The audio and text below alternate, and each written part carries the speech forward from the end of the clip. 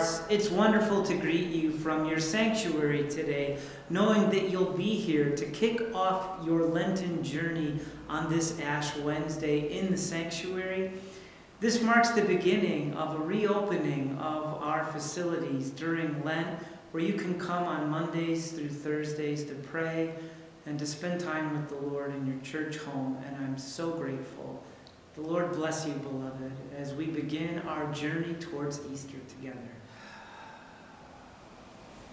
Bless the Lord who forgives all our sins. His mercy endures forever. Lord be with you. And also with you. Let us pray. Almighty and everlasting God, you hate nothing you have made and forgive the sins of all who are penitent. Create and make in us new and contrite hearts, that we, worthily lamenting our sins and acknowledging our wretchedness, may obtain of you, the God of all mercies, perfect remission and forgiveness. Through Jesus Christ our Lord, who lives and reigns with you in the Holy Spirit, one God, forever and ever. Amen.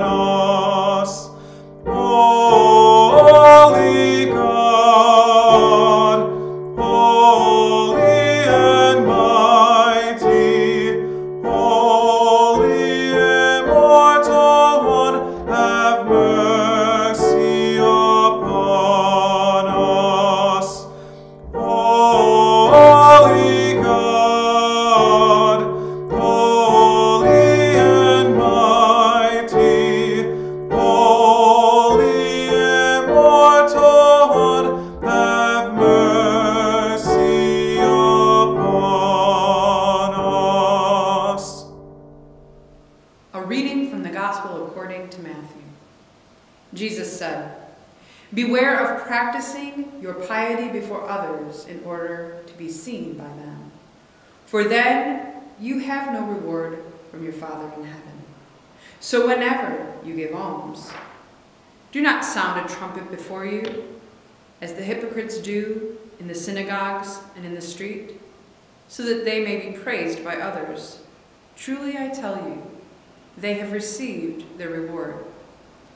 But when you give alms, do not let your left hand know what your right hand is doing so that your alms may be done in secret. And your Father, who sees in secret, will reward you. And whenever you pray, do not be like the hypocrites. For they love to stand and pray in the synagogues and at the street corners, so that they may be seen by others. Truly I tell you, they have received the reward.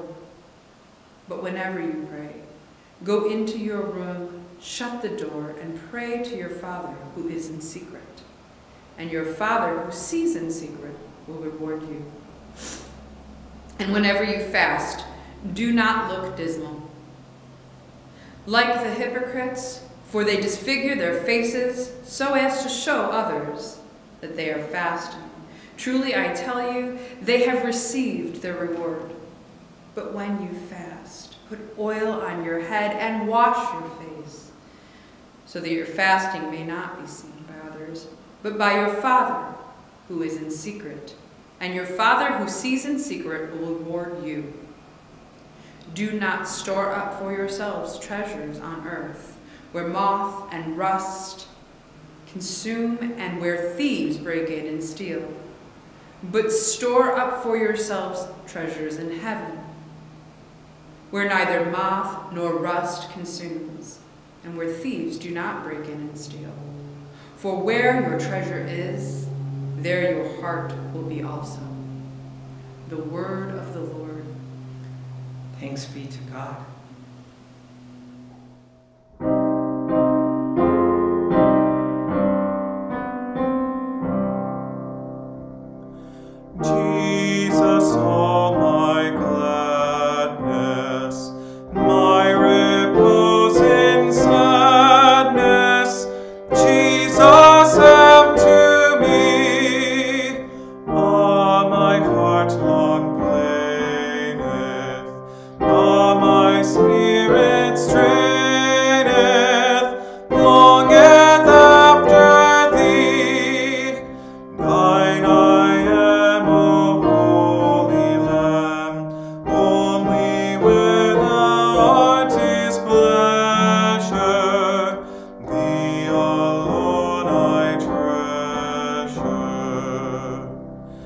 hands with earthly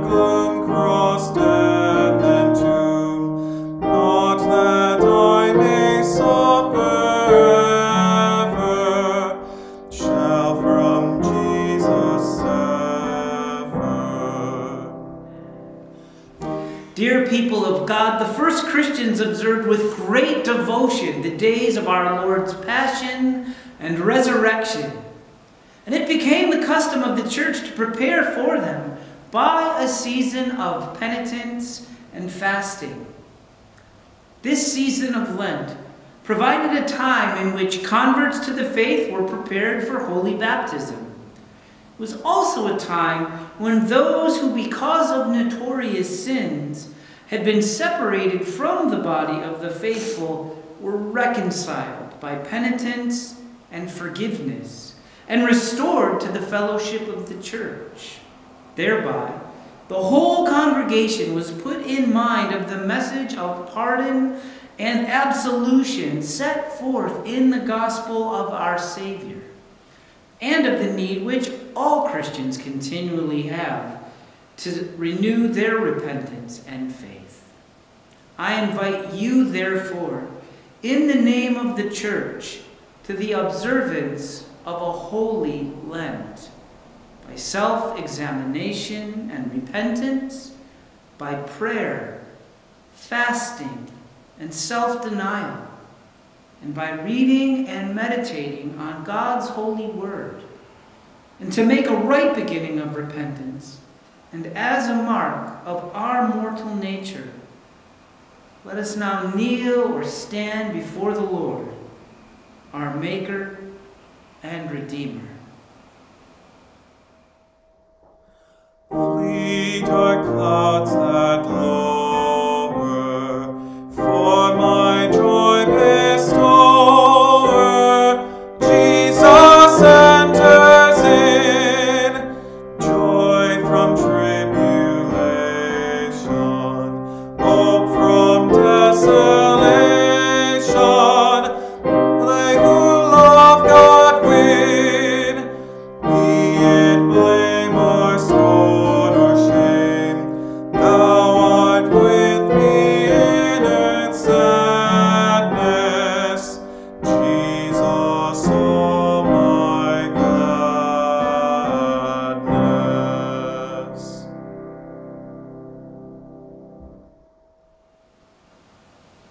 this time we'll bless the ashes to mark the beginning of our Lenten journey.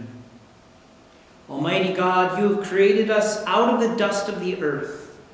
Grant that these ashes may be to us a sign of our mortality and penitence, that we may remember that it is only by your gracious gift that we are given everlasting life, through Jesus Christ our Lord.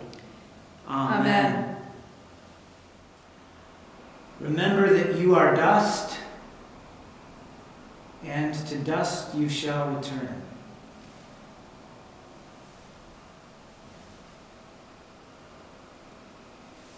Remember that you are dust, and to dust you shall return.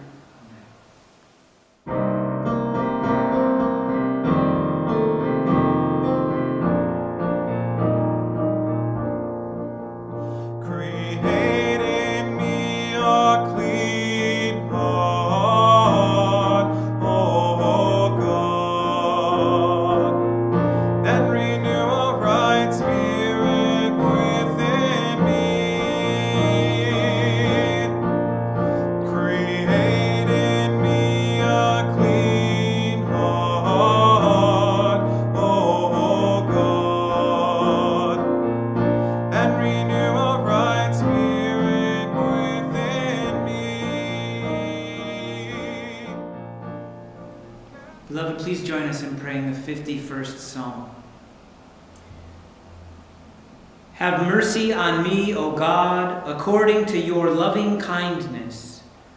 In your great compassion, blot out my offenses. Wash me through and through from my wickedness, and cleanse me from my sin. For I know my transgressions, and my sin is ever before me. Against you only have I sinned, and done what is evil in your sight. And so you are justified when you speak, and upright in your judgment. Indeed, I have been wicked from my birth, a sinner from my mother's womb. For behold, you look for truth deep within me, and will make me understand wisdom secretly. Purge me from my sin, and I shall be pure. Wash me, and I shall be clean indeed. Make me hear of joy and gladness, that the body you have broken may rejoice. Hide your face from my sins, and blot out all my iniquities. Create in me a clean heart, O God, and renew a right spirit within me. Cast me not away from your presence, and take not your Holy Spirit from me. Give me the joy of your saving help again, and sustain me with your bountiful spirit. I shall teach your ways to the wicked, and sinners shall return to you. Deliver me from death, O God, and my tongue shall sing of your righteousness, O God of my salvation. Open my lips, O Lord, and my mouth shall proclaim your praise. Had you desired it, I would have offered sacrifice, but you take no delight in burnt offerings. The sacrifice of God is a troubled spirit, a broken and contrite heart, O God, you will not despise. Create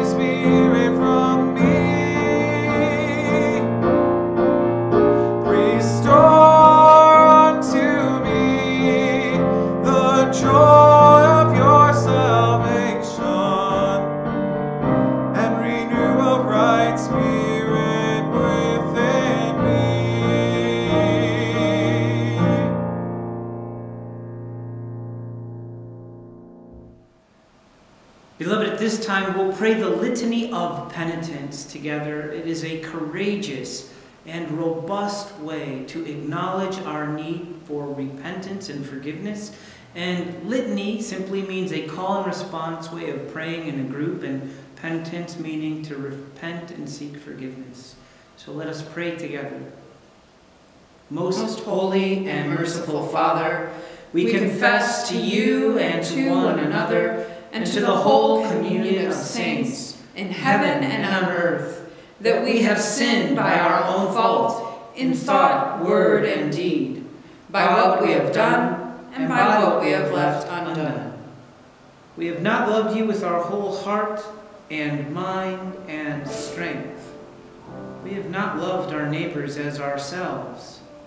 We have not forgiven others as we have been forgiven. Have mercy on us, Lord. We have been deaf to your call to serve as Christ served us. We have not been true to the mind of Christ. We have grieved your Holy Spirit. Have mercy on us, Lord. We confess to you, Lord, all our past unfaithfulness, the pride, hypocrisy, and impatience of our lives. We confess to you, Lord, our self-indulgent appetites and ways, and our exploitation of other people. We confess to you, Lord, our anger at our own frustration, and our envy of those more fortunate than ourselves.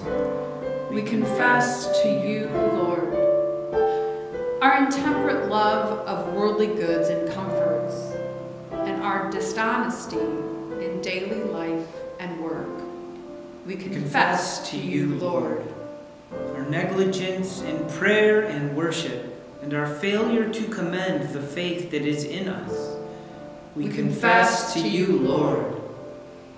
accept our repentance, Lord, for the wrongs we have done, for our blindness to human need and suffering, and our indifference to injustice and cruelty.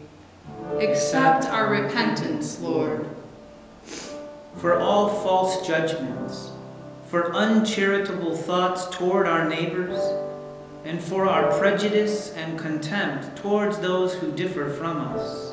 Accept our repentance, Lord, for our waste and pollution of your creation, and our lack of concern for those who come after us. Accept our repentance, Lord. Restore us, good Lord, and let your anger depart from us. Favorably hear us, for your mercy is great. Accomplish in us the work of your salvation. that we may show forth your glory in the world. By the cross and passion of your Son, our Lord, Bring us with all your saints to the joy of his resurrection. Almighty God, the Father of our Lord Jesus Christ, who desires not the death of sinners, but rather that they may turn from their wickedness and live, has given power and commandment to his ministers to declare and pronounce to his people being penitent the absolution and remission of their sins. He pardons and absolves all those who truly repent and with sincere hearts believe his holy gospel. Therefore, we beseech him to grant us true repentance and his Holy Spirit, that those things may please him which we do on this day, and that the rest of our lives hereafter may be pure and holy, so that at the last we may come to his eternal joy. Through Jesus Christ our Lord. Amen. The peace of the Lord be always with you. And also with you. Go in peace, beloved.